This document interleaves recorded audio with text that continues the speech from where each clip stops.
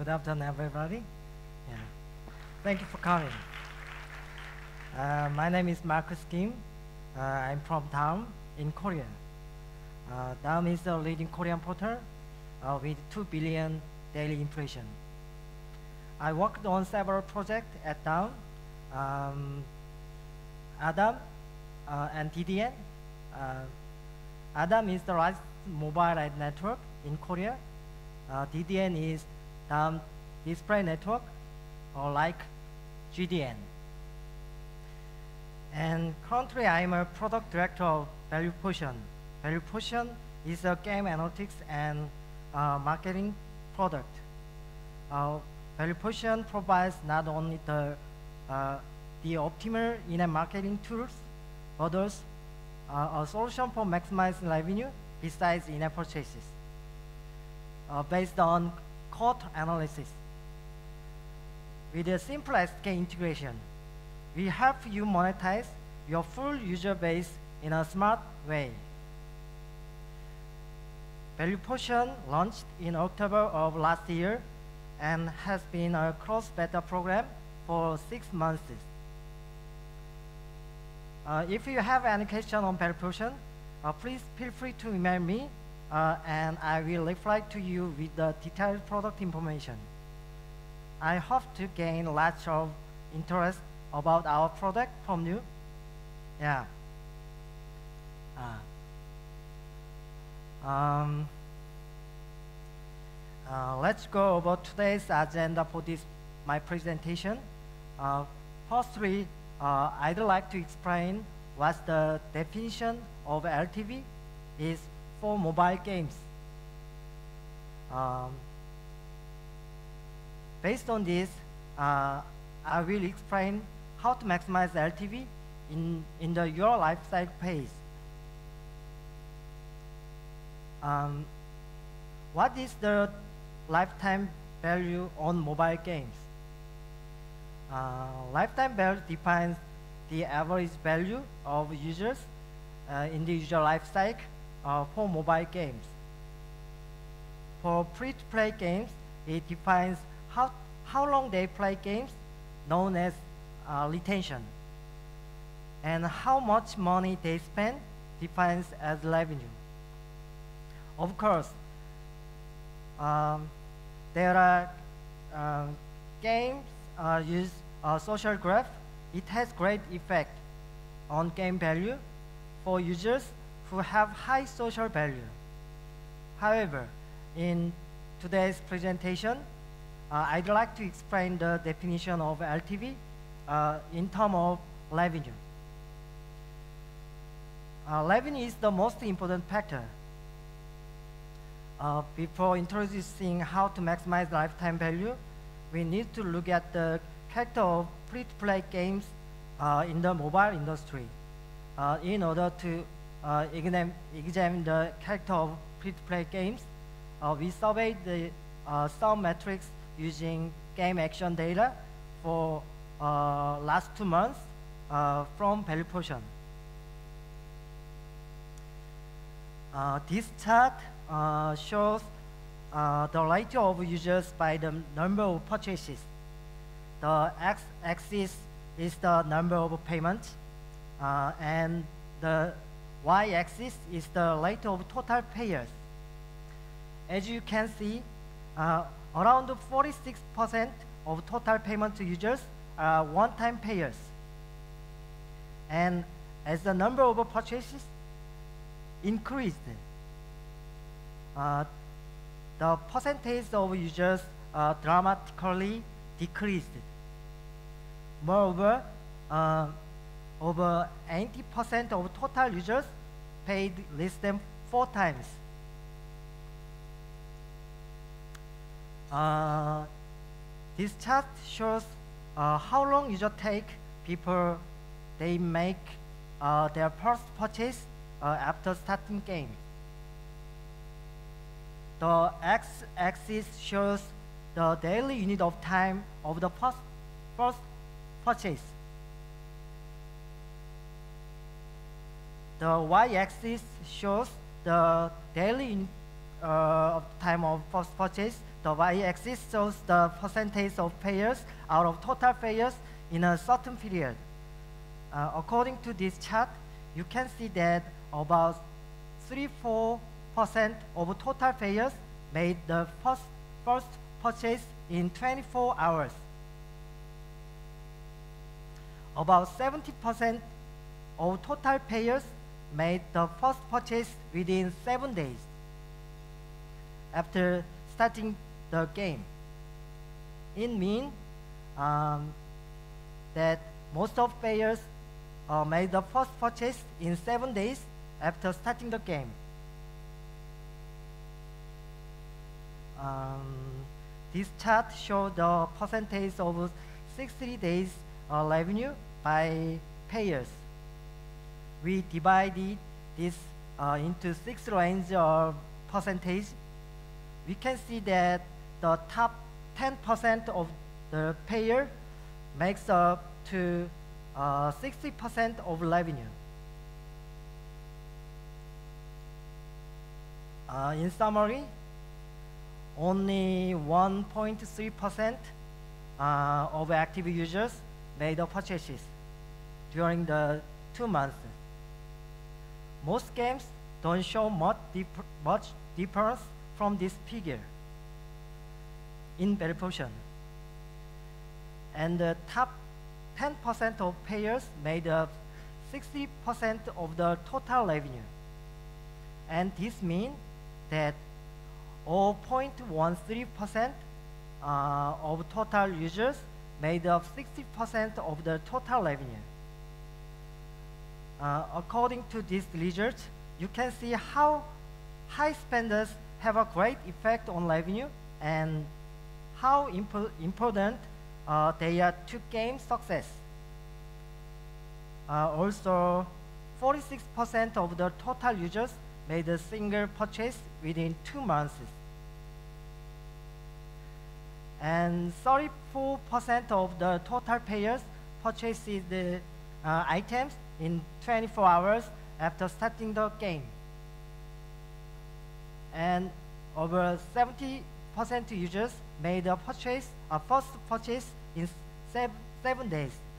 Uh, on the other hand, 44% uh, of the total users never came back after playing the game once. Uh, we found out that they were acquired uh, by incentivized, incentivized ad campaigns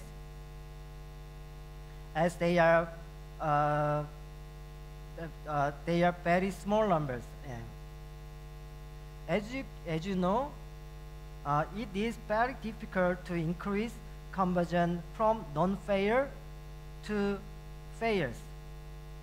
In this, in this situation, I think increasing uh, purchases from payer is more effective approach uh, to maximize LTV.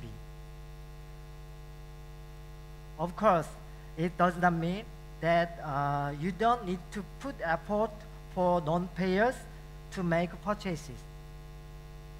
With this effort in maximizing LTV, for better result, you need to have higher priority of securing payers to increase purchases than getting purchases from non-payers. Um, let's talk about the correlation between user life cycle and LTV. Mm -hmm. uh, in order to maximize LTV, uh, you need to understand uh, user behavior first. This chart shows the correlation of LTV by dividing the pace of user life cycle. I think you may see these kinds of charts in many articles uh, online. This shows how important LTV uh, is for game success. Um, user lifecycle can be divided into five phases. Um, acquisition, retention, engagement, cross-promotion, and monetization, monetization with ads. For your reference, uh, recently uh, there are many games uh, which generate revenue not only in the in-app purchase, but also uh, advertise using user session. So I have added the monetization with this phase uh, this time. Uh, let me explain what strategy, what strategies you need to use for each phase to maximize LTV. Uh, uh, so many game developer, developers are really focused on how to acquire new users and allocate marketing, marketing budget in the acquisition phase. Uh, but even if there are many marketing channels, some of them still don't provide accurate installs and reliable data uh, by their reporting system. Also, uh, it is very difficult to evaluate and optimize the campaigns uh, due to the uh, CPI ad system. And to start ad networks, you need to integrate many SDK of each network into your games, and some users are duplicate. Uh, as they don't have the same metrics, and also there are uh, many cherry pickers. Uh, to solve this problem, uh, you need to make your own tracking metrics to analyze and optimize uh, campaign effectiveness uh, so that you can acquire new users efficiently and sustain users' retention. Mm.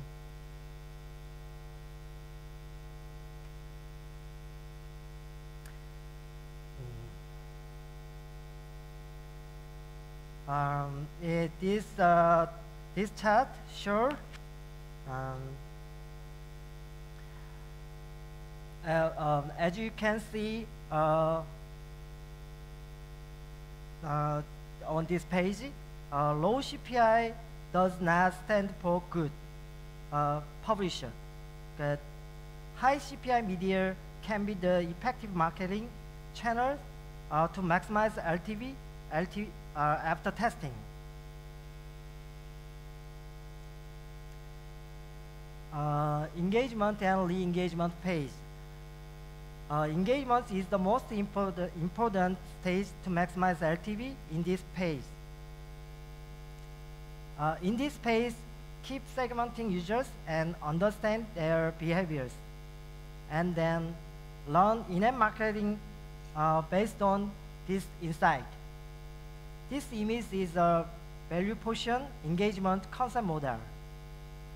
Uh, for in-app marketing, uh, first, uh, collect user actions to find out user behaviors, uh, such as uh, country, device, OS, uh, friends, game level, purchase information, session start and end, item usage, etc.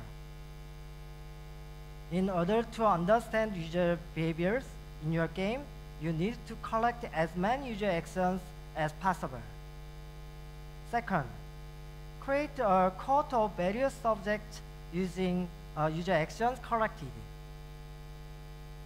It would be great uh, it, if you can create as many cohorts as possible, uh, such as uh, non-payers, uh, one-time payers, over one-time payers, um, top 10% revenue payers, uh, non-active users for three days, for seven days, uh, etc. Uh, in terms of daily visits and high retention users. Also, it is important to create various cohort groups suited for game characters it is especially mandatory to create cohort uh, based on payers to maximize revenue. Um, as mentioned earlier, it is easier to increase spending uh, from payers than non-payers. Especially, uh, you need to create a cohort of high spenders and keep monitoring how they engage. as you can see in the Valuepotion survey, uh, around uh, 0.13 of total users make up 60% of the total revenue. They are the most valuable users in your game. When uh, you run the optimal marketing campaigns uh, based on their behavioral analytics, it will have great result in the economically success of uh, games. Create a cohort and analyze the key metrics first. After getting this insight, you can learn in marketing accordingly. Uh,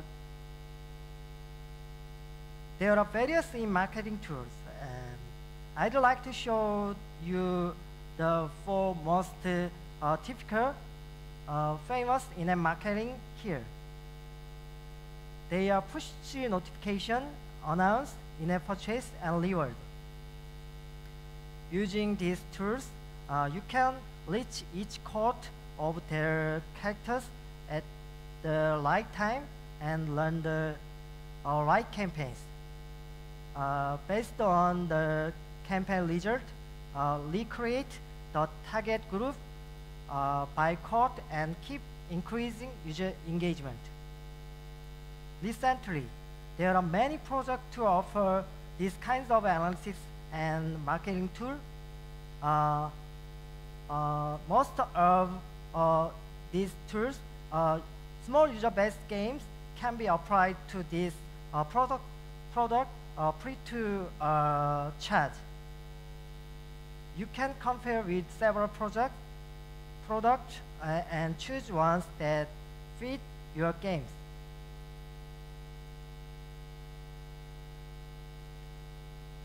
Um, um, cross promotion, yeah, remember, um, even 90-80% of your players might not spend any money on your game.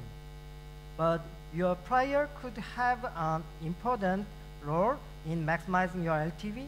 Uh, if uh, re-engagement does not convert player into payers or lead them to increase, uh, to increase uh, additional revenue. It is time to move on the next phase in LTV. Cross promotion offers a good tool to lower your CPA in order to acquire new user uh, efficiently. Uh, as you know, uh, ranking and ratings are really important uh, in App Store. Uh, previous, uh, they, are, they were managed, managed by the player rewards to boost up App Store ranking. However, uh, recently most app stores uh, also consider uh, reviews and ratings by users for ranking.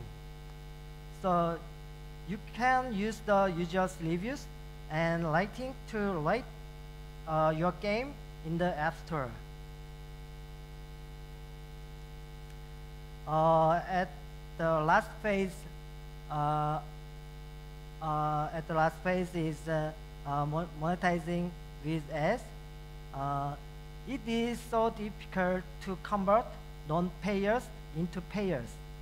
Um, I recommend that uh, you make more money through advertisement revenue using non-paying, non-paying users. Uh, apart from cherry pickers, uh, over 50% uh, of your active users only play game, uh, never make purchase revenue. These users are valuable users too for game success, but game developers have to spend operation cost to them. Um, make more money, uh, not only in a purchase revenue using uh, payers, uh, but also uh, uh, revenue using non-payers.